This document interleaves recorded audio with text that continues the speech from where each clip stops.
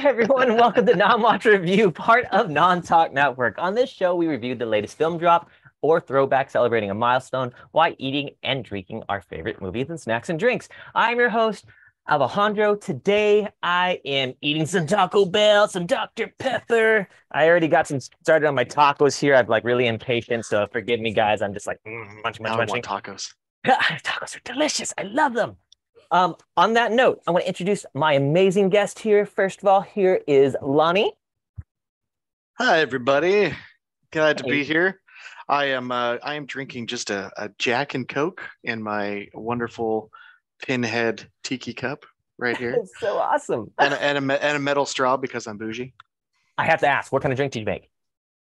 It is just a Jack and Coke. Oh, you said Jack. I'm sorry. It's right. Oh Yeah. my God. I was so distracted by the awesome tiki cup. I forgot about the drink. And then uh, my snacks today, because uh, I'm on I'm on a, a keto diet right now, Ooh. are these uh, wonderful chocolate chip cookies by Keto Candy Girl. If you've ever ever had Keto Candy Girl before, They're, Chocolate uh, chip one- cookies that are keto?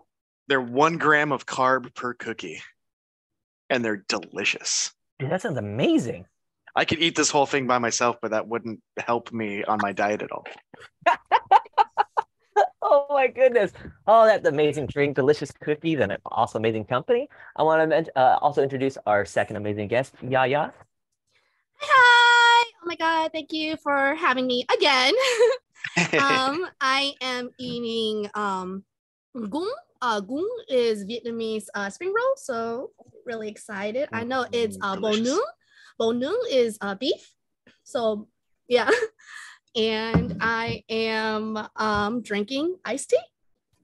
Oh, oh my God, that sounds delicious. Uh, wh- what's inside the sprinkle? You say uh, what? Uh, everything in there, if you don't mind. so uh, bo nung, bo nung is uh grilled beef. So. Uh-huh. uh, yes, um, we speak Vietnamese at home too. Um, okay. uh, there's also um uh well instead of usually we use uh vermicelli but we're lazy so we're using bun hoi bun hoi are like basically vermicelli sheets and that's my favorite there is uh bean sprouts in here and there is just some like uh romaine lettuce Ah, that sounds Mm. delicious. Oh my That sounds god, my so mouth is watering. and my generic tacos Some uh, just like insufficient.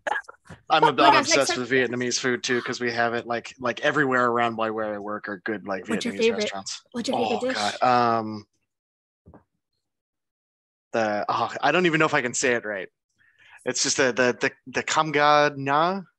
Gong- um, gong- ga, ga. uh so it's like chicken rice Yeah, yeah, chicken and rice. Yeah, like Yes. just barbecue chicken and rice basically. Love that. Yes. Mine is bun hoi which is uh, bun hoi, the vermicelli sheets with uh, uh, grilled barbecue pork. Oh my Mm. goodness. Oh, my mom used to get a lot of like these, uh, and I know this is a very, very hybrid dish, the community, a lot of like lemongrass sandwiches and so forth as well. But I like it's, uh, Lord, I this just the smell of just the beef and the way it's cooked and the Mhm. vegetables. Oh my, I'm mouth watering. Oh my Lord. Okay, It's, sorry. it's the lemongrass. Lemongrass is the Ah, oh, I get all I'm- excited I'm- about food. Oh my Lord. I'm, okay, I'm- wait. I'm okay. breaking my keto just Oh, thinking Oh, about this. jeez. Okay. all right. All right. Hellraiser 1987. Hellraiser 1987. yes. I love it. And, and you know what? I'm probably gonna have to watch. uh, Well, you know what? I don't think I really want to watch Hellraiser by eating a lemongrass sandwich, but still, regardless, amazing sounding food. Um, but we're gonna start off today. Uh, if we haven't said it, our friends, family, and amazing guest gentlemen here. Uh, let's say hello to. I believe it's uh, Teeny Faba. I believe. Please get me wrong if I messed your name. I apologize. Cue ball as well. Um, he says, oh, oh, woohoo, yay. Q says, I'm eating chili with crackers and Black Forest ham sandwich with a Kroger version of Mountain Dew. Oh, my Lord. Oh, and I want to thank you, Yaya, for Mid- hanging with me on my birthday last week. She's looking beautiful as ever.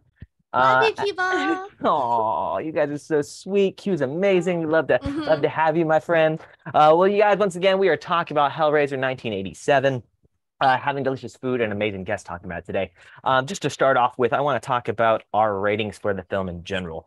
I like to start off with you, Lonny. Uh, out of five popcorn buckets, what did you uh, give this a rating? This one's this one's absolutely a fight for me. It's uh it's top ten, top tier horror for me. Uh, there's there's a, obviously we'll talk about it, but there's a bunch of reasons uh, why I have a big appreciation for this, and uh, everything from the the the makeup effects, uh, the score, um, uh, some of the directing choices and everything for it. I really like. I really like this movie a lot. Heck yeah, five out of five, fantastic. Uh, yeah, yeah. Out of the five popcorn buckets, where would you give this rating at? I'm on the opposite spectrum. I gave Okay. it one and a half out of Ooh, five. okay. Uh-huh. Um, I think for me, uh, I think the disadvantage for me was that I watched this movie uh, when I was a lot older. Um, Uh-huh. So I think for me, it got too hyped up as a horror movie, and when I watched it for the first time, I was actually very sorely disappointed. Um, with what I usually watch, like I love slashers, and then for me, I was just kind of like, huh. So yeah, unfortunately for me, this was a 1.5 out of five. Okay, okay. Well, I'm a little excited about this because one, we have a five out of five, right? We have a 1.5 out of five, and I'm going to hit it with a 3.5 out of five. I think this is just a well-rounded opinion from three of us right now, so I'd love to see uh, where we uh, come from on this. So I'm super excited about this. Uh, in that regard, I want to hop back into the comments really quick here. Uh, response being Tin Elf Ubba, but you can call me Tin. Yes, I will call you Tin. Thank you for helping me not butcher that name. I apologize, but thank you for joining us nonetheless. Uh, so I want to go and start off with Yaya. In regards to your introduction to the film, you did mention uh, that you saw this film uh, as an adult. Uh, Mhm. Please uh, tell your initial feelings about the film and how you were introduced to it. Okay, so um, when I was younger, I did not like horror movies as much as I love them now. And my favorite types of horror movies are slashers. So I've always been like, you know, Pinhead has always been like as one of like, you know, the the slasher like villains, like, you know, the monsters. He's like an iconic monster. So um I was just going through like, you know, oh, okay, um, trying to catch up on all like the iconic horror, like, you know, or like um cult favorites and that kind of stuff. So I was like, okay, when I finally got to Hellraiser, I was like, I was excited because I love Pinhead's design. Like, I love like the idea, like you know, the grids, the pins, and like the open chest and everything. Such a, I do have to admit, such an amazing, amazing character design. And that's the thing about this movie that I love the most is the character de- uh, designs for the Cenobites. Um, watched it expecting like you know like you know i was expecting something kind of like you know texas chainsaw horror mass uh, texas chainsaw massacre. Oh my god why did i put horror in there?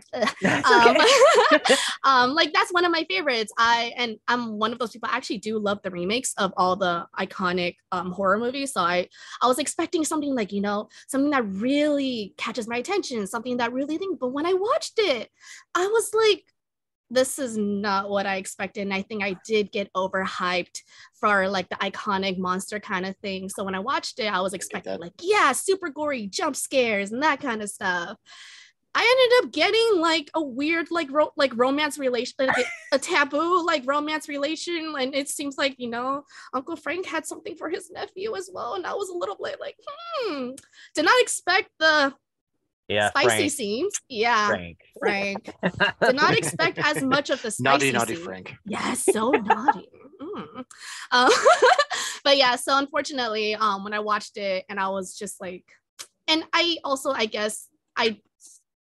It was a movie of its time as well, and it's because I Hmm. watched it like you know in like the later two thousands. No, of course, I it, got you. it wasn't as for me, so unfortunately, I would just was really underwhelmed by it, and the pacing as well. For me, like pacing is very important, especially in a horror movie. Horror movie. Um, so that that's for me as well. It didn't really like keep my attention the whole time. I was just, yeah. no, I totally we get that. We get that. All right. My, Uh, my so a little feelings aren't lackluster hurt. in a It's sense fine. then. now, okay. Now coming from a perspective of you just seeing it now, we, we see that you've okay now seen it in 2000s compared to when it came out in 1987. So we have uh, technically Clive Barker's first introduction. Uh, once again, excellent opinion. There's nothing wrong with that. I want to shoot over to Lonny over here, my friend. Uh, in regards to you in first introduction to film, your vibe with it, how you felt about it, uh, go right ahead, my friend. Um, my my first introduction to this movie was in in 1988. Mhm. Um, my mom had taken me and my two siblings to go see The Little Mermaid at the drive-in. Hmm. Um, if you grew up going to drive-ins, you know that there are multiple screens at drive-ins. see multiple movies. Uh, behind us, they were doing a double feature of Hellraiser 1 and Hellraiser 2. And I had no interest in seeing The Little Mermaid whatsoever. I turned around and I saw this, I saw Pinhead for the first time and went, This is dope. This is dope. I couldn't even hear the movie. Like I couldn't hear any of the audio. I was just watching the visuals, just entranced as an eight-year-old kid. I have to Just ask like, you. You said you were watching. The Little Mermaid. Why? Well, I was supposed to be watching The Little Mermaid. so you had the soundtrack of The Little Mermaid in the back as you saw Yes. Pinhead. That dude, Yes. I I bow. Oh my lord. Yes. That is. Yeah. Yes, that sounds like an amazing experience. I'm so sorry to interrupt. I just had to make that sure that was there. Please go on. I, I apologize. Yes. Now I I can't even get hard now without uh, listening to the Little Mermaid soundtrack and watching Hellraiser. So it's informed my entire life. I think. Someone needs therapy. Oh, I love it. Oh my god. Yes, You became one of my favorite persons in the world. I agree. I will Uh, never look at Doesn't- Little it doesn't, Mermaid help, and it doesn't help the that I same live right down the street from from Disneyland too, so that just makes it even worse sometimes. Oh my god. I'm sorry. Um, but uh, just like continuing on from there, uh, I had I had a best friend around at at that time who was Uh-huh. really into comics, and um, really like his mom always let him watch whatever horror movie he ever wanted. So you know we do like the sleepovers and stuff like that. And he had uh, the original run of Epic Comics Hellraiser comic series. Hmm. Um, so I got to read those. So I got like before I had even really watched the movie fully for, for the whole time, I had background, I had story, I, I knew who these characters were before I even went into it. And it just informed and grew into this fandom that I still hold on to, you know, 30 some odd years later. Hell yeah. Hell yeah. That that's awesome, man. Um thank you for that too. Oh my lord.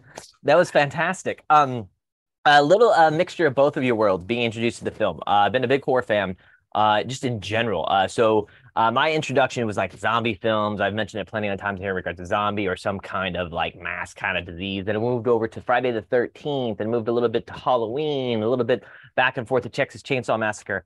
Interesting thing about this film is that I heard about Freddy Krueger, I heard about Jason Voorhees, I heard about The Exorcist, I've heard about everyone instead of Pinhead. I don't know why Pinhead was brought, like briefly mentioned to me here and there, but I was always enthralled with either Friday the 13th or Halloween. Uh, you know, my major fear was Jason Voorhees and Michael Myers, just because that's ex- exactly who I was, you know, introduced to the silent baddies and so forth.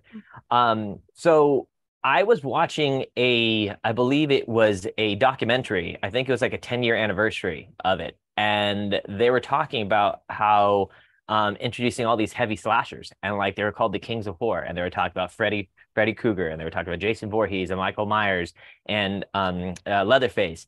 And the big argument was why no one brought in Pinhead. And I was like, who's Pinhead? What the hell is this? I, I want to know. So I, I started, you know, I decided, I believe I was 20, at the time I was 29. Um, I had a I had a Big Mac with me, large fry and a Coke, and I put this film on, and I could not finish my damn sandwich, dude. I tried. I couldn't even I get through like, the first 10 minutes. I was like, I, was like uh, uh, I can't do this, man. What the heck? Yeah. And it was one of those things where my jaw just dropped because I was seeing all these practical effects that almost reminded me of um, uh, is it uh, not it, the thing, the thing in a sense, with Mm. like in the very Mhm. beginning and so forth, with you know just the you know the the animatronics and stuff, or not the anim- I guess you'd be the prosthetics, the the practical effects. Um, so that just stuck with me. Was wanting to vomit and and seeing like how detailed the beginning of the film is. Um, that being said, um, we're gonna go ahead and start off. Let's say in the beginning of the film, uh, we go ahead and there is no, there is no, uh, you know, walking on eggshells in this film. It hits you like a Mack truck right in the front end. Mhm. Initially, you're looking at blood and gore. You have the hints of the actual cube itself, um, which I think it's Frank, right? That's initially the beginning. That's there. Yeah, You know, having his little seance and so forth as well. buying it from the vagrant. Yeah, exactly, Yes, right? Exactly. Yeah. Which uh, that I, you know, thank you for actually bringing that up because I think I glanced away for a moment when I looked up there and I was like, why does Vagrant keep on making appearances? And like, I get him who he was, but you, you can miss that in the very beginning initially too Yeah. as well. Um, but that being said, we are in the beginning of the film. We obviously know that this world is somehow we know of a world, possibly through a cube, because uh, like hints of it. Uh, Frank is the first introduction of the film, and then we go right into his brother Larry and his saucy wife. Um, so they get into this place now, and here they are. Obviously, I believe it's a family home. Uh, he makes, I think Larry ref- makes the references to the fact that the old the old woman kicked the bucket, which I'm assuming is means mother, um, and he was okay with everything coming out of the house in general. Uh, Lonny, I want to start with you, my friend. In the first, let's say, I'd say good 15 minutes of the film itself, and oh, hold on one second here. Before I go into this here, I wanted to, oh, why did I do that? Excuse me here. Okay, I thought I lost the comments here. I almost had a semi panic attack.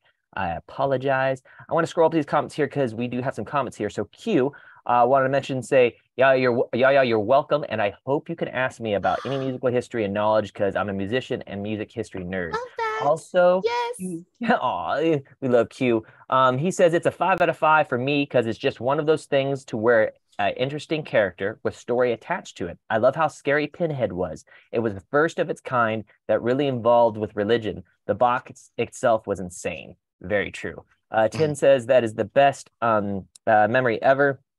Q mentions Alex, you can use my inhaler.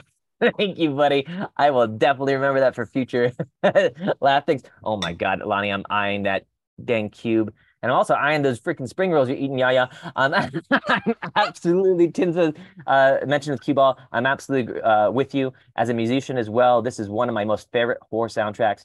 And the creatures, uh, I'm saying the mask, I'm assuming, and the cubes are some of my most favorite uh, images in general. I have to agree with you guys. Just the visuals of, in, in Mhm. general of this are amazing. Uh, before I forget here, sidetracked wise, Lonny, like I said before, we're from the first 20 minutes of the film. We get introduced to the family members. We have an idea that this eerie world. What is your opinion of the introduction, the pacing, the vibe of the film in the beginning? Oh, I mean, uh, just that that first ten to fifteen minutes, like it's it's very much an introduction, like Clive Barker does. If you're familiar with Clive Barker's writings or anything else that he's ever done, he's he does he does very well with introducing characters and kind of slowly giving them just a little bit of of character, of an idea of who they are. Uh, this, I mean, you get introduced to to Frank, the original fuck boy. He's just he's Yeah. just the worst you know? And you can just even tell from the beginning it's just slimy. He's in this slimy place with dirty people slamming down a dirty wad of hundreds on the table you know? It, the dirty fingernails and everything with sliding the box across the table. There's like cockroaches and stuff all over the place.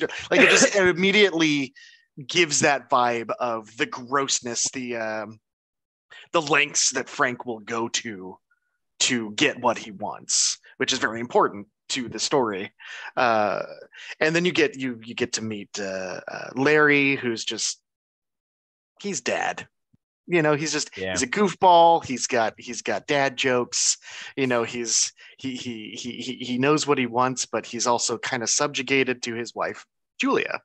Yeah. uh julia i think is just like the stepmom you know she's like Dis- Disney evil stepmom. Like she's just like she's pretty. She stands very tall. She's got that British accent, um, Very and just immediately she's got a scowl. She just hates everything. She doesn't want to be here. She doesn't want to be in the house.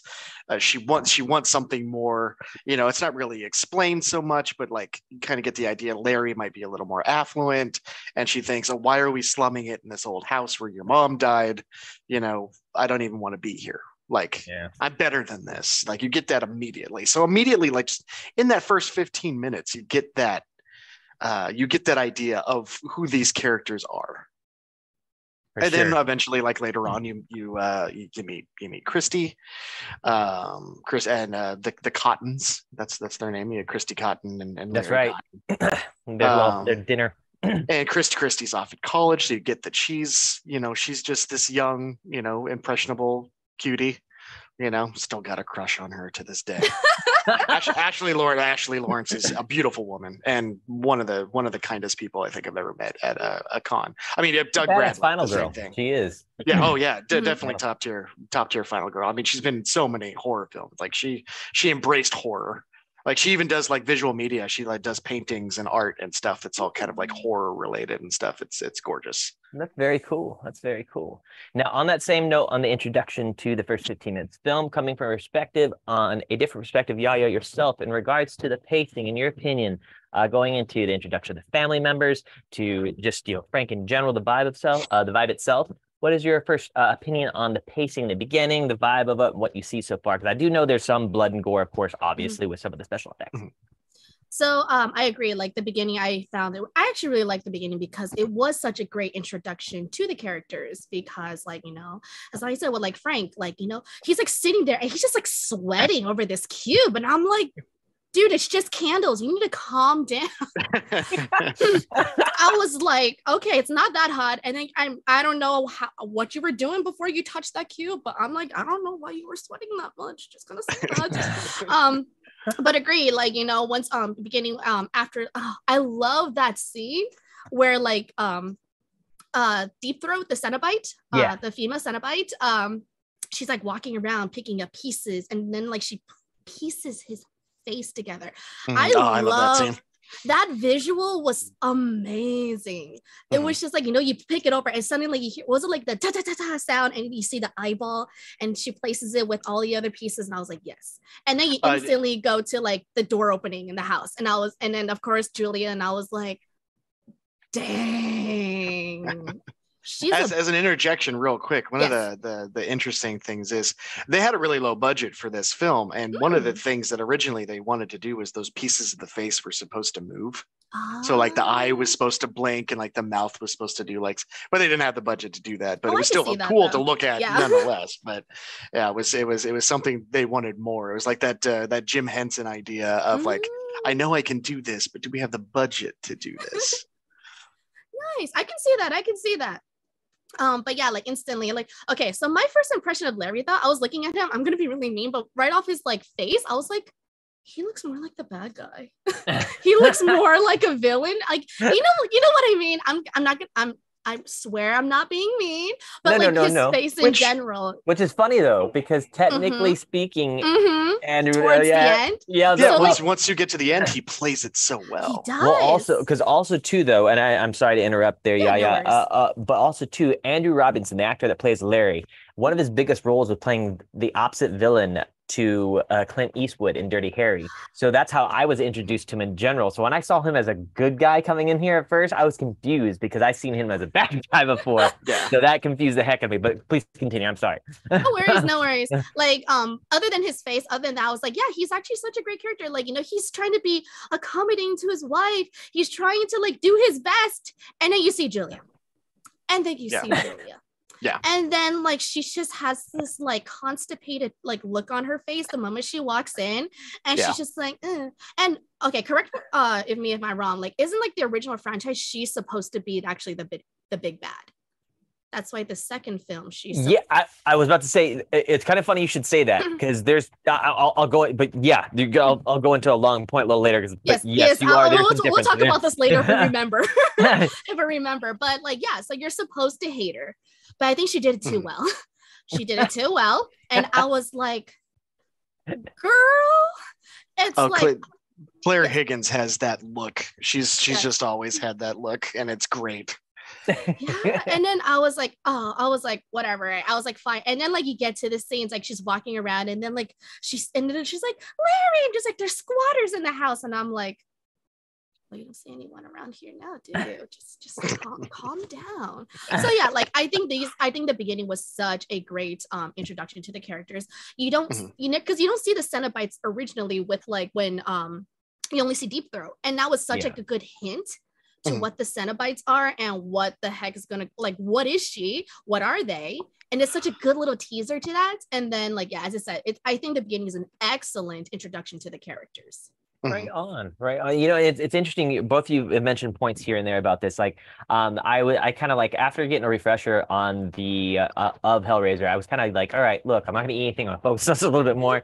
Uh, let me go ahead and like want to focus to certain things that might I might have missed. Um, so basically, in the beginning, you guys know the uh, couch movers and everything, right? The the the Mhm. house movers. Yes. Funny fact, and kind of a shitty fact for the actor himself.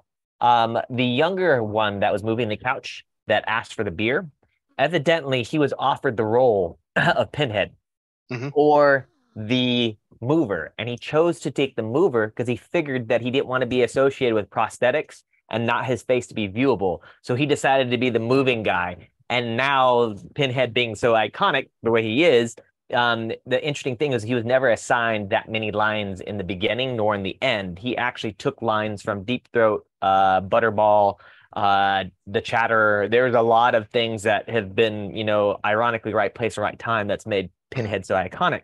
Uh, but Right. on that note of both uh, both Lonny and Yaya, Yaya, you guys mentioned because they only show little certain parts. Lonny, you mentioned in the beginning uh, that they had a small budget. Uh, they had exactly something around a little bit under one million pounds, which is a little bit at the time being equivalent to one million dollars because of the Mhm. the uh, the money and translations over uh, over time time and effort. So I guess they were a little bit more closer to the American dollar at the time being. So yeah, it was uh, Roger Corman's company, yes, yes, uh, uh, yeah, and uh, and they gave him like yeah, basically like nine hundred grand yep. is what they had. Yep. And it was it was it was crazy because they took that budget right there and um which we'll mention I I can't mention right now. So technically speaking, I don't know if you guys well, I'm sure of course you guys mentioned you obviously paying attention. Uh but the actual FX and budget toward the end of the film got really down to meat and potatoes, which is only like Mhm. some costumes with fake blood and stuff, and they had to eliminate a lot of the special effects that they had because they just didn't have money. So evidently they spent the last week doing hand-drawn special effects over that stuff. Him Mhm. and he calls him the oh, like French the guy. squiggly lines and stuff. Yeah, all like, yeah.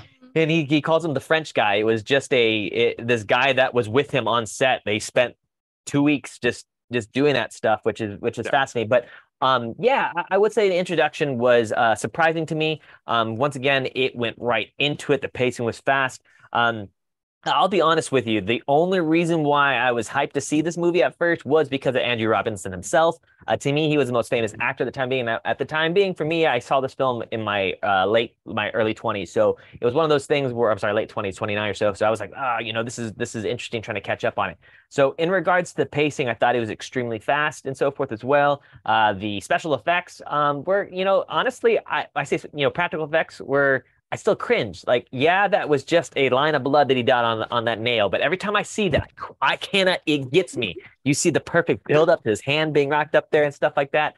That and is- it's good. ah, It's the good thick blood too. It wasn't that like that runny red that stains your hand. Like it was the good thick stuff. you yeah, it wasn't. It was- wasn't yeah. like candy red. It was dark, right? yeah, and and that's a theme through the whole movie. Uh, Uh-huh. uh, when I was watching it, uh, I was watching it at lunch today. Um, when I was watching it, with my coworkers were asking me what it was because they're they're normies. They don't really know a whole lot about the stuff, um, and they were asking me about it. And uh, one of the kind of the the themes along with the uh, the special effects in this is it's a goopy movie. hmm Like yeah. all the special Right. effects are goopy. The blood is goopy. Uh, later on, when Frank is uh, transforming, he's just like Frank dripping with that, like, yeah, he's like dripping with that saliva-looking goop that's on Ah. him before he gets like the muscle and the blood. yeah. Um, just like everything is really gross. A looking, hundred which- freaking percent. yeah, yeah, Oh but it looks, Lord. but it, but And it gives that like fat on his level of, bones and everything too. yeah, That it that's- gives that yeah. it gives that level of like shock and realism i think to it is just like it's it's gross it's just not like a guy in a suit that's covered in blood it's they went into like anatomic detail on Oh, a lot of stuff and it was and it, it added a little bit to to to i think the, the the grossness of it same with like the cenobites like they had the weird anatomicalness of the of the grotesque that they do like Mhm. there's an anatomicalness to it. No, there's yeah. little. I'll, I'll talk about it later when we when we when we get no, to that no, part. no, no. there's- You're you're perfectly there's fine. there's little there's little details in each one of them that I think is is really cool. That uh, having multiple watches like myself, you you notice like the little details. and- Mhm. and No, things. hundred percent. Yeah. Yeah, Yeah. it's interesting with with both. You're looking at uh, like the chatter, or you're looking at Butterball. Uh, it's kind of depressing though, because essentially, um, technically speaking, Butterball is supposed to be the head Cenobite uh, in the actual book Mhm. itself. Yes. Um, but unfortunately, with the crazy prosthetics, like I, I still freak out when Butterball licks his lips when he's just Yeah, and I'm just like, oh my god. Yeah, exactly. Um, interesting thing about though the female Cenobite, hypothetically speaking, was given more lines, right? Um, Mhm. also she wasn't given the name Deep Throat until it was a teasing teaser throughout the cast. And Mhm. eventually they actually emphasized that they, they wanted to make some clarity because even though the name was Deep Throat and it was sexually connotated and you know it, just to actually give it that vibe, it was also called Deep Throat in a, in a sense to give the female Cenobite um a emphasis of exposing a weakness but showing as Mhm. badass for women not Mhm. having a voice so hypothetically speaking she was supposed to express the pain and and, and the grotesqueness of that um Right. which i believe um but lonny and yaya you both mentioned that this is one of the first horror films that actually obsessively used other than The Exorcist, um, more religious uh, incense in regards to the direction of um, the expression and just the storyline in general. Uh, in Yeah. fact, I think in this particular portion, we are now probably about 45 minutes into the film. We understand that right now, uh, Clare Higgins, Julia, some little lusting issues over Frank, right? Uh, interesting thing about Frank, by the way, is that his whole character is actually dubbed over the whole film. So Mhm. that's not his voice, which I was totally surprised I didn't learn about that. Um, the reason for the reason for that was the studio. The studio wanted it to be based in uh, the U.S. United States, yeah. um, instead of it was originally just it was Clive Barker being from England and also had the story based in England, and most of the actors are British actors. Yes. Uh, besides besides Ashley Laurence, I think. yeah. And Yeah. uh, so it like he made the aesthetic very English, but Sure. then the studio comes in and goes, "Oh, we want to make it uh, based in America, so we can draw the American audience into that." So they had to dub over most most everybody. They had to dub over uh, with American accents. Yeah, yeah, absolutely. Yeah, that's a, yeah. I remember it was crazy just to think, you know, what what measures they had to go do to do this. And in regard with it being released, you know, kind of it's interesting because now at this point in the film we're at right now, we obviously see Butterball, we have the Chatterer, we have just all the Cenobites in general. Uh, Pinhead seems to be established at this point as the lead bad baddie uh, boss in Mhm. general. Um, we see that there's that lust relationship between uh, obviously Julia and Frank that we mentioned before. Um, now, in that iconic cringe like cut your hand off the uh, nail concept, him bleeding into that upper room, which which that room is just ugh. He's in this room bleeds. and makes an indication that he found a way to escape the Cenobites, right? Kind of this is being indicated here. Um, now I'm going to actually go over to you on this here, Yaya. Now we have experienced, we've seen uh, hints of practical effects, the bones, gore, blood, muscle. We've seen the fact that there is a family, but this family seems to have a nasty secret, and Mhm. how it's implied here what's going on. Um, in regards to the tone of the film, in regards to uh let's say in regards to the storyline uh let's go on to continue. What's your vibe the story? Is it still holding its its pace? Is it still holding your attention at this point? And also too let's also add in i want to go ahead and, and um throw in your opinion about the acting as well too. Okay, so excuse me. Uh, by this point, I think for me it kind of slowed down because it Uh-huh. just starts to like you know go into more Julia's like conflict of Gotcha. like, and you can tell like she does not love her husband. Or She's like she just seems so annoyed with him the whole time, and I'm just like, girl, get a divorce. if you're gonna be like that, I'm sorry. I'm that type of person. I'm like, you, you, you're, if you can't stand the sight of your husband, it's time to leave, girl.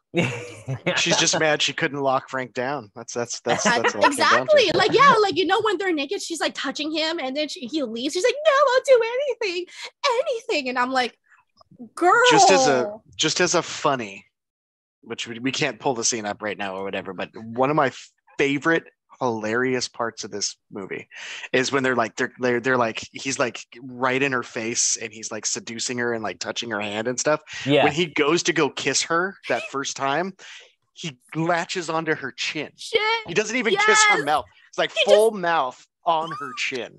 It is hilarious. I noticed that today because I watched it right before just to get a like a refresher as well, and I saw that he just like attacks. It just takes a bite. Yeah, Right he just right goes here. for the chin, like no lips, no like sensuality. He's like full open mouth. Yes, he's like he chomps down. I'm like, Yeah. okay, this is not a cannibal movie. I'm sorry. um, but yeah, no, okay. So it gets a little okay for me. I guess again, I'm gonna be a little bit more. No, I'm not. I'm trying to be a little bit more lenient because this is a movie from the 80s. Um, it was a little much. Like some of the expressions, like you know, with Frank coming in and he's holding his hand, like, "Ah," and I get it, I get it. You're scared of blood. I get it, but it's in. He's like, lonny mentioned the goop the goop Yeah. yeah, and it, it's a little much for me and um it is for me like as i said i love slashers i don't mind gore but for i don't know for some reason like it was a little not too much like it made me squeamish it was too much that it actually drew me away from the film for some Okay. reason um uh i thought that it was a little like they did it for the sake of doing it which is fine but it just wasn't my cup of tea um but anyways but yeah uh what was i talking but yeah like Oh, yeah. movie No, you but get the- in- go on sorry go on sorry yeah no worries. I lose my train of thought. It's still brain fog. Um, okay so uh so yeah so like this part it starts so low because it's mostly like julia's conflict. It's like oh like Mhm, i mhm. i like want frank but he's gone and he didn't take me with him kind of idea. Like she gets when she opens like the photos and she gets so angry and then Oh, she yeah. rips the like yeah, she tears the one with the other girl in it. Yeah. yeah, yeah, his was- mini uh his mini expicades expades uh, exapades. I Yeah. think is how He had like a whole suitcase thank full of pictures of women and stuff, like right next to that dirty ass bed that he had in there. exactly. So uh, for me, which is more like, okay, girl, we get it. You're thirsty. But Yeah. it's like this part, it's like for me, I was kind of like, okay, I get it, I get it. I understand, like, in a way, it was more just trying to justify what she does later on, but it was Mm. just so slow. And then, like, you know, she just always again that constipated face is like, okay, okay, oh, okay, Larry, okay, Larry, mm, kind of thing. So for me, I it was have a like that. headache. And- I'm going to bed. yeah, exactly. and then it's like, and then she looks at Larry, she's like, hmm. and I'm like, girl, just just go. Just go. Um, we uh we get the introduction uh introduction to Kirsty. Um, Kirsty, I I like her. I just gonna say at, at uh, right now, it's like a lot of the characters actually just annoy me. I did not really find other than the Cenobites, I did not find anyone likable, likable. She was except I can talk. she was tolerable for me. She was tolerable because like you know she's still doing her thing you know she but at the same time it's like I get it. Uh you know you don't want to like you know you have a like, crazy ass stepmom that like you know totally you can she you, she knows uh, like Julia resents her. She knows. And that's like you know and then she's trying to stay out of their way. I get that you know? Um but at the same time it's just like oh okay you know and the dad's trying to force a relationship. I'm like Larry stop. No ain't gonna happen. Yeah. um i'm like ain't gonna happen um but yeah so uh she's like uh, she's tolerable and then like you know you meet the guy that she like you know has a relationship with and he's just like putting his cigarette in his mouth and like pulling it out and like, he Yeah, like that- keeps on that that back and forth and but, but I can't. Why does that actor's face look so damn familiar? I can't find him in the credits at all. Like I, he I has, think yeah, I think he's on uncredited at Grand Canyon because I believe they changed the actor for the second movie. Ah, gotcha, gotcha. So, sorry to Um, interrupt. Yeah, yeah. I, I'm sorry. no just If I, because if I that- that remember, I could be I could be wrong. I don't I don't remember for yeah sure. Yeah, no but- worries but yeah, Yeah, so I- for me this one it starts to lull especially with the whole julia thing it got too julia centric which i didn't like her in the beginning anyways and i'm just like can we move on like i don't want to see her sexy escapades with frank But yeah Fair enough. I gotcha. Yeah. All right. no, that's that's fantastic. Okay, so at this point, then, right here, so now we obviously we're at this point in which we know all the Cenobites, right? And Mhm. um, once again, Lonny, we're at this point in which the Cenobites are introduced. We see this this this affair going on, right? Um, and now we're introduced to Kirsty uh, in there with the you know the family dinner that they're having. Uh, with the Mhm. vague, awkward family, in my opinion.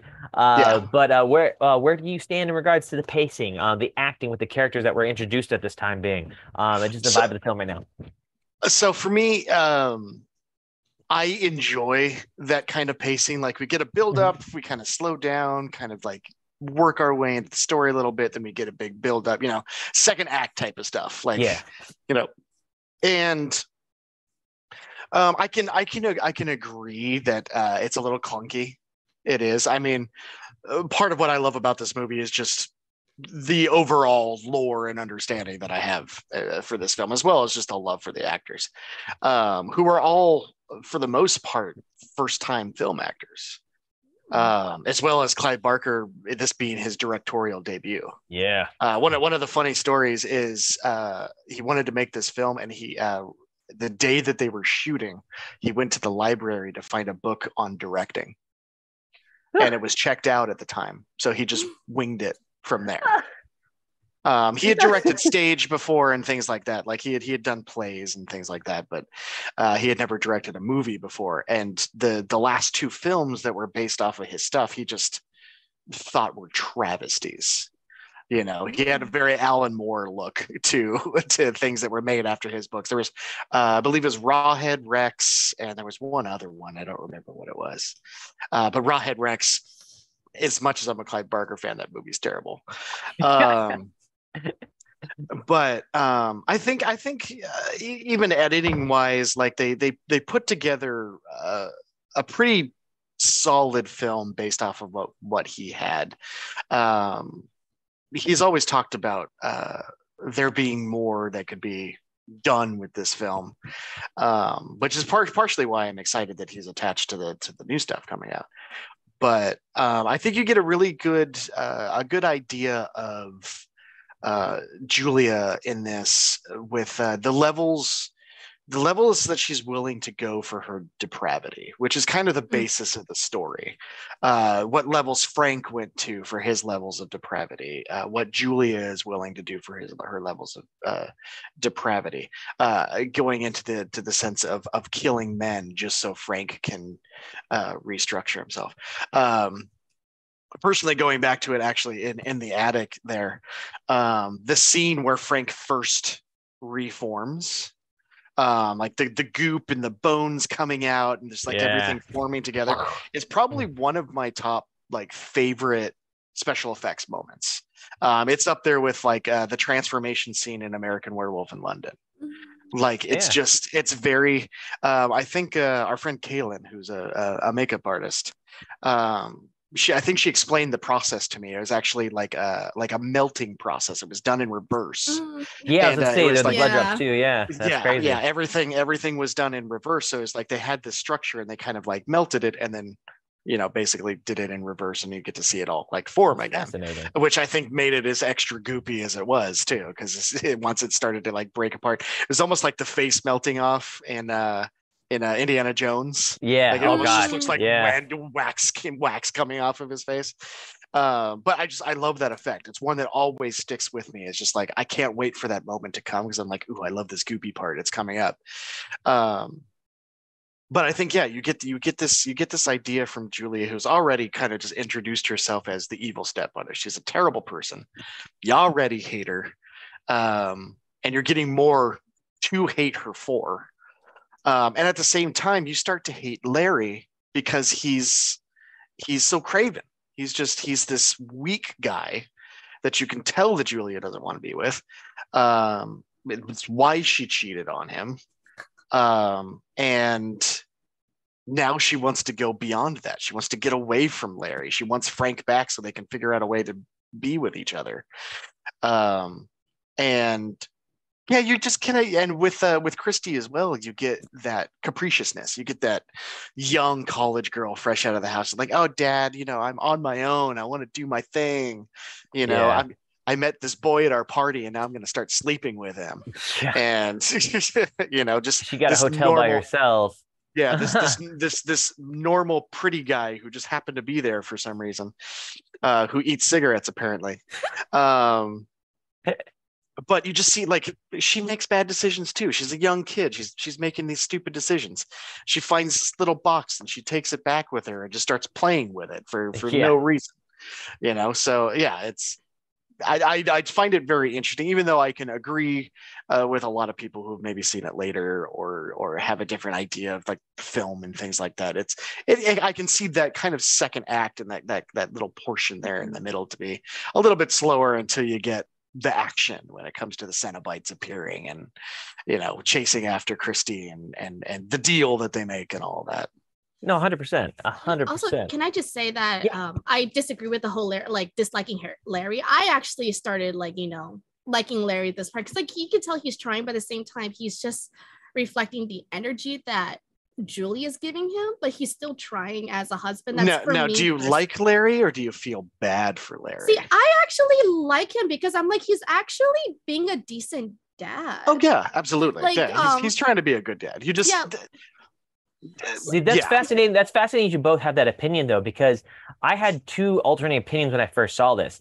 Initially, when I first saw the film, I thought that, um, and and we're looking at here. Forgive us, audience. Here, we're about 15 minutes in this as well, so we might speed a little through this. But just to condense this and make sure we're on track still as well, it's funny you, you bring uh, Larry in this position. When I first saw this film, I was so distracted by the blood and gore that I got distracted by Larry's transformation at the end and Frank and how in, Mm. in which what he came in. And I thought that Andrew Robinson was such a fantastic Oh, yeah. actor that I then started hating him because I forgot that that's that yeah he's acting that's not he's not being he's Frank, literally being wearing Mhm. Larry mask. exactly and so at this it's, it's it's one of those things where and and, and forget the audience you know speeding up this point this just uh, to keep this little track so um, mentioning the fact that Kirsty brings in the box because she always mentions that she's in a different hotel room. She has a different vibe. She doesn't like the apart, uh, doesn't like the house, let alone uh, obviously not liking Linda because uh, Julia. I'm sorry, Julia here. Um, because we're in a situation they're obviously having an affair. Looks like Frank's and Larry's family is somehow not exactly the greatest. They make references to the mother of the old lady, so she passes away in general.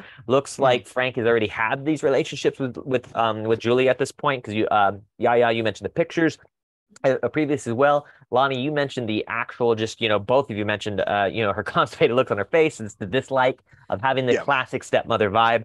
Um, at this point, we understand that uh, all of a sudden that um, she kills not only one, two, but three. You mentioned this, Lonny, before uh, to go the extent of people to reformat Frank and who he is. We start mm-hmm. to realize that Frank doesn't really is starting to care less and less about let's say, you know, Julia per se, and more like the bodies of getting him in there and so forth as well. Hmm. Um, so at this point, we know that Kirsty gets a hint of what's going on. Uh, you know, fast forward a little bit, plays with the box, as both of you mentioned, like, what the hell are you doing? Opens the world into this whole area, talks to Pinhead, the head honcho himself, Deep Throat, Butterball, and the Chatterer. Uh, evidently, there's the engineer. I can't believe I forgot the engineer. I'm totally sorry about that. Uh, yeah. But you have the, the weird worm is, guy. Yeah, and that's yeah. the crazy thing because that big worm guy evidently was made that way, not like he was in the comics. He was actually supposed to be another Cenobite, which oh, yeah. is yeah, they don't really mention. It's a whole thing. Mention, yeah, so you got these references and so forth as well. Now, the only reason why I'm you know speeding a little bit forward this year, you're dealing with we were dealing with excellent special effects. Um, I understand that the pacing slowed down a little bit. We get the great appearances to which I understand that behind the scenes, we're looking at a $1 million budget and they had to alter lines back and forth to people, and they were very limited. In fact, I believe Clive Barker even mentioned, uh, Lonny, you mentioned this before, and Yaya, you definitely mentioned this. Um, so, in regards to Clive Barker's introduction, technically, this was his second, third, third film he's worked on, but first one he's been in charge of and actually to come out with. Um, the crazy thing about this, though, is he said the whole cast that was with him was probably the most amazing cast he's worked with in a long time because he said specifically that they knew he had no idea what he was doing and they were hmm. willing to still work with him. He and they all worked told, with him, yeah. Yeah, exactly. He told his DP, his director of photography, that he had no idea the difference between a 25 mil, 25 millimeter lens and a 35 millimeter lens. He had no problem yeah. with admitting that. So at this point, it seems that this is like borderline cult classic, you know, where this is coming and how this is going. Um, we finally get hints of renditions of what the world looks like or where the Cenobites are from. Uh, mm. Yes, classic darkness, the chain scenes of having those suckers come back at you scared the shit out of me constantly. Just seeing those things at that point. Oh, yeah, Lord. Um, don't mean to sped up fast on this point. We understand that three bodies, uh, three bodies essentially killed, which also gets me to think that Julia's been a little shady in the first place because all three of these dudes hint that they wanted to mess with her in the first place and they're all from mm. her mm-hmm. workplace. And she's like, oh, and one dude even mentions he's like, hey, you've denied all my advances before. Why now? And I'm like, what the frick? So I mean, I, I, Lonny, you you mentioned so I can Yaya, put this hammer to the back of your head. I, exactly, and Yaya, you brought you brought this up. She just has a really shady freaking past, and it, yeah. it's just like I, it, it just starts coming full fledged. Bam, bam, bam, bam, bam. So to me, I'm like, oh my, she's finally going to get it. She's going to get it somehow, whatever the case. Let's fast forward this here. Uh, we're finally at this point towards the end. The end where the initial, like right now, Larry is still clueless. He goes mm-hmm. and responds to Julia's phone call of, you need to see this. You need to see what's going on. It's implemented that something happens to Larry. Done. And he has, as you said, Lonny, the the Larry face mask. Um, well, and you you see it you see it in there. Uh, part of uh, part of the conversation that happens between Julia and Frank is Frank convinces Julia, "I want Larry's skin. It's mm-hmm. the last it's the last piece that I need for my transformation. I want you to bring him to me. I'm gonna take it. Then we can then we can be happy together." Exactly. Um, so that's and, what that's yeah. what leads to her doing the, the phone yeah. call and everything. And then yeah. it's implied. You don't really see it. It's just implied. Exactly. All of a sudden, yeah. Exactly. Larry's back and he's got all the blood around his like, yeah, the yeah. goop and shit. And exactly. Yeah. Exactly. Now I on think it's a really point, cool like subtle makeup thing. It was it was like you could kind of tell like some like parts were like peeling mm-hmm. and like a mm-hmm. little bit like you could tell something's not quite right, but yeah, so like one of these things don't belong here. yeah, and yeah. I feel like with Larry, that was like in a way like Julia's like final redemption. If she didn't do this, like at least like thing, but she decided to do it. It was like her final like like point of no return kind of thing. Mm-hmm. which Exactly. I really enjoyed because in the beginning she was like, "No, don't, please, I can't stand it." While they were on the phone, yeah. and then like he, she had to be convinced, but you know, Julia being the sussy bee she is, and, and No. again that's like going back to what i was talking about is, is we were seeing kind of the the information of julia's own depravity yeah. the lengths that she was willing to go to uh, I, I think it was funny uh, there was there was a quote uh, from the uh, from the people on set that the the working title of this movie was the things a woman would do for a good fuck Yes, that was that was the fourth that was the fourth suggestion Yeah. uh, by the actual 64 year old uh, PA woman that was Yeah. with him on set suggested that that title. That was Yeah. hilarious. I, I, that is that is freaking hilarious. Oh my which god! which is funny because that's basically what it is is what, Oh. what Exactly, julia and- would be willing to do to have her fuckboy back and on that note, and like we're running a little bit on that on note, here we are at this point, right? We see this, and to me, I will say that this is the first film that I saw that actually painted a female that could just be as wicked as a male. Because every film that I've seen has been Mhm. like uh, male adultery. Women wouldn't treat me life. I went somewhere, and it's like you know, like la femme fatale in a sense, right? And then now Yep. we have this situation here in which it's actually the woman, a working woman's not getting her needs what she wants. Do I agree exactly what's going on with her? No, but it was interesting how Yep. they uh, showed that hey, females can do yeah they kind of just flipped as- that script a little bit Yeah, exactly, Yeah. exactly. Uh, on that perfect, yeah, but perfect. that was again the reason why, like you know, she was supposed to be the big bad. Like what you said at the beginning, why wasn't Pinhead like you know um, acknowledged more? Because he wasn't supposed to be the bad guy. He's if anything, he's neutral. He's I know, yeah. neutral. which I have had this I have had this conversation many many times and Uh-huh. uh, I've started online arguments about this about whether the Cenobites are true neutral or neutral evil. Well, that's Oh. funny though, because one line in there, and they they keep on that debate is there for a very long time. Of in fact, Mhm. the line was put in there, two lines. One being the fact where he says we are angels to some and demons to Demons to others, or demons to others. others, Mhm. angels to some. That line is partially altered from the com or the book itself that Clive Barker Mhm. wrote. And then also, um, because I do know the original title for this was supposed to be uh, Hellbound Heart, but eventually they were like, or Tales of Hellbound Heart, and they were like, wait a minute, it sounds too much romanticized. It sounds too much like a love novel. Switch it. Mm. Um, But uh, why we have this time? So at this point, I want to ask both of you guys this here. At this point, we know that, uh, like, fast forward because I know we've been hopping back and forth. Mm. Kirsty makes an agreement with the Cenobites, saying the fact that if they can go ahead and um, go ahead and not take her, she can show where Uncle Frank is, and they can go find him, so to speak. Uh, Mhm. she has a hint that something happened to her father, so she goes to see, you know, you know, the Larry mask and so forth. She understands what's going on with Julia. Julia at this point has the situation to have her fate. We see, you know, uh, Frank actually eventually kill her with the nice little blade butterfly knife still Mhm. sticker thing there, and then sucks her life and does his own thing, which we've kind of hinted that was going to happen. So, my question for both of you, and we're going to start off with you, Yaya. Mm. In regards to justice, in regards to an ending, in regards to a pacing, at this point, where do you stand with Hellraiser? Okay, so I felt like justice wise, it wasn't like no. I think Julia did needed a worse demise than anything. Um, I guess the fact that like her being betrayed by her lover supposed to be seen as like, a, oh my god. But as you know, I'm like, no, girl, like you needed to be tortured. Like I wish she was taken out by the Cenobites instead, because that would have been like at least like a thing. But no, or at least getting to see the flaying that she got because you see her like the, the the remnants of her in bed where her chest is open and Yeah. her face is all peeled off i wish we could have had the budget to see that because Oh yeah, the chains and Exactly. Oh, that was that was Yeah. gnarly. Good point. so like Yeah. yeah. i wish like more could have been done um and i guess like i just felt like eh, um pacing wise now this ending is pacing is really interesting because it kind of slows down and it pick, it's very it's still like tense because you have like you know uh frank Larry chasing after like you know thing after Kirsty and really implying that like you know ah Julia's gone we can be together kind of thing while I'm wearing your daddy's face. Yeah. um because frank is gross Frank is gross. we haven't Lesson established that yet. frank is gross gross. exactly. So that's like a whole thing. I liked it, and then it suddenly picks up because suddenly the Cenobites come in, and you're she, they're trying to escape the house, and she's like closing the box, she's going pew pew pew with like the little box, and like I thought it was really interesting, and I thought it was really weird for it to like lull and it pick up again towards the end of the movie. And then I actually enjoyed the pacing towards the end because I'm just like, thank you. But at the same time, I was like, God, I wish Julia could have died like much, much worse. I wish Frank could have died much, Yeah. much worse. He was just like pulled apart and he was like, Jesus wept. And then, and I was like, Yeah. uh, I wish there were more. Which I uh, uh it's it's it's really funny. Like I think the statistic is like I think Pinhead and the Cenobites have eight and a half minutes worth of screen Yes. time in this whole movie. Mhm.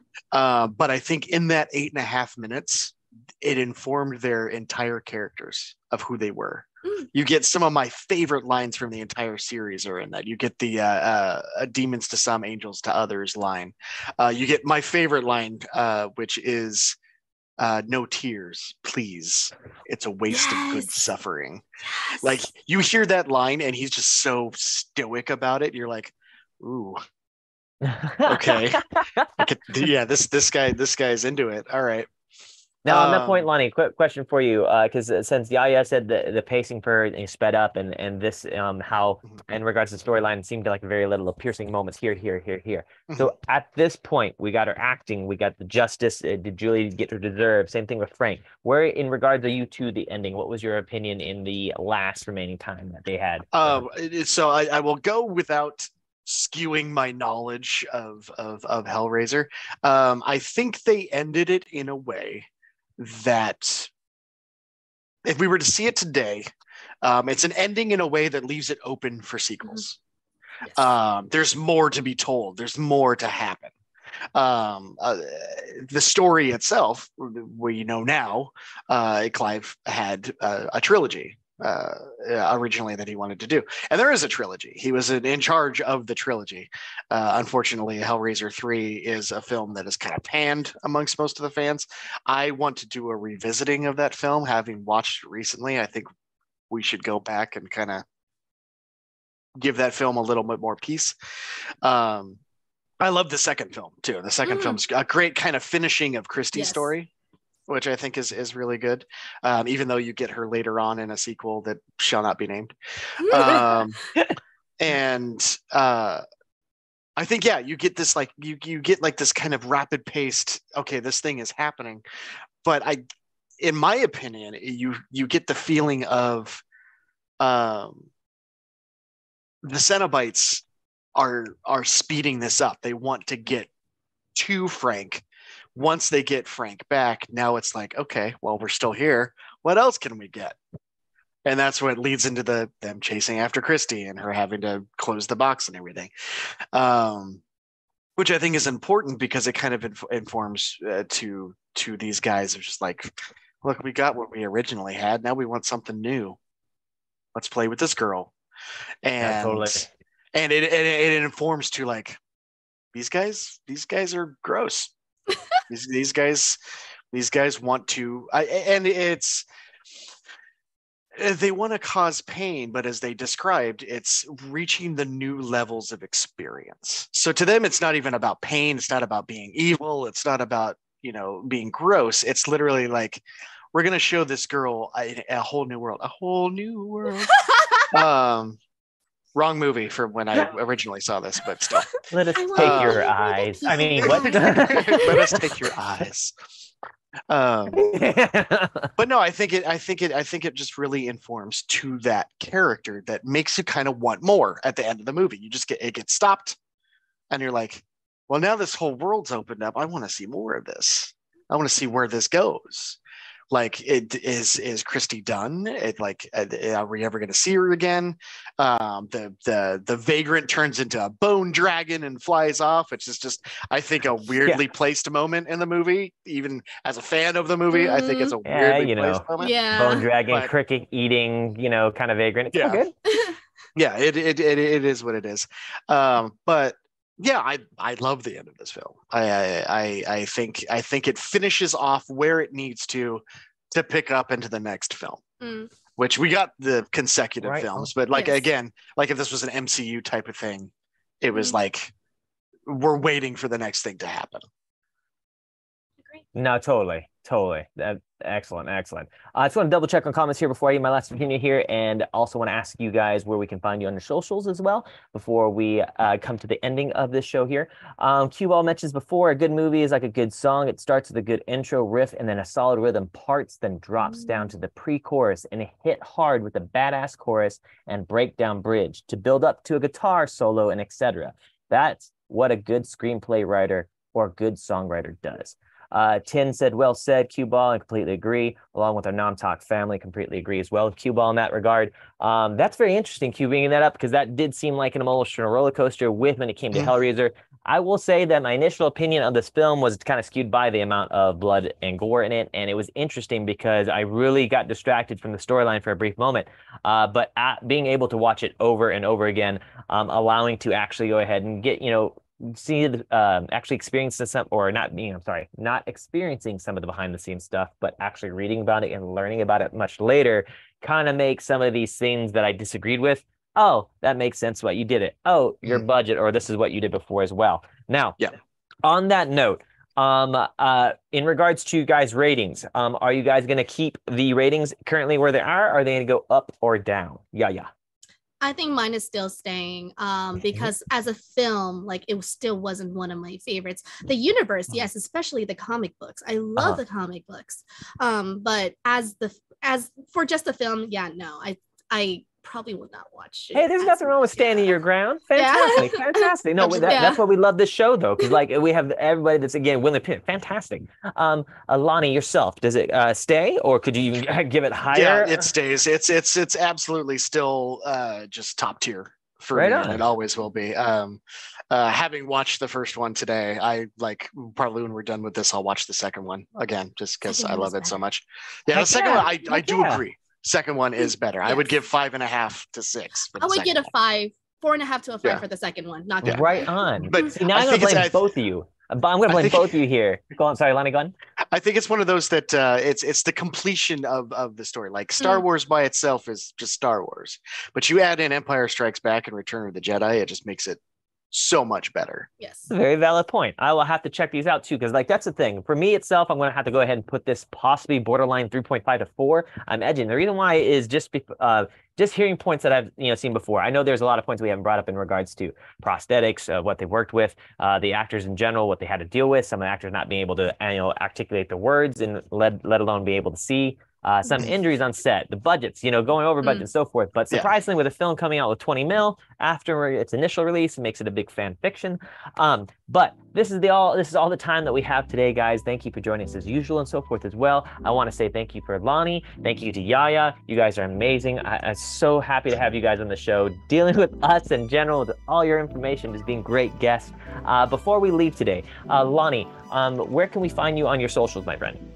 Um, best socials probably for uh, for all of my kind of like prop work and and some of the things that I do uh, would be on Instagram, and it's at the underscore Sith underscore abides. Uh, so the Sith abides. Heck yeah, fantastic. Yeah, yeah, my friend, where can we find you? Find me a lot of places, but mostly you can find me on YouTube at Jade Palace Yaya, where I upload every other week. I actually just uploaded a video today for the Mid Autumn Moon Festival, which is this Saturday. Um, but you can also find me on Twitch at My Hamachi, where I stream Mondays, Wednesdays, Fridays from 3 p.m. to 5 p.m. Pacific Standard Time. So tomorrow. Excellent, I, if I can interject and say one more thing before Yeah. we go, um, if we ever get the chance, I want Yaya and me to talk about the Texas Chainsaw Massacre at some point. Ooh, Ooh, sir. both the original that- and the remake? I do like the Uh, remake a lot, but the original. I'm gonna join sure, in this trio, my friend, because that's that film I watched when I first moved to Fort Hood, Texas, and oh my God, I got some stuff to know. So, um, let's go ahead and just put out the universe. Us three. Let's go ahead and talk about Ch- Texas Chainsaw Massacre. I love that as well. Yes. Uh, before we go, I said uh, you can find me at I A M C O W I E. It's I am Cowie on Instagram, where I have my acting, uh, comedy, uh, POV skits, you name it. Have fun with it. Uh, Twitter at Crimson Cowie, where I talk all my trash all the time. Uh, I complain about the world and all first world problems. Or at Facebook at Alejandro Cowie as well. Well, folks, once again, thank you so much for joining us today. Uh, please make sure to tune in for our next show, which is going to be later this uh, month on the 15th. What? Monday. Just kidding. Um, it's going to be on Monday. Please, please. What are we covering? Rings of Power. I'm sorry, I'm looking at the Oh, yeah. wrong screen here, so I apologize, guys. Please do not forget Rings of Power. Once again, friends, ladies and gentlemen, witches, wizards, thank you so much for joining us today, and you guys have a lovely day. Come back to check us next time. Bye. Bye, guys.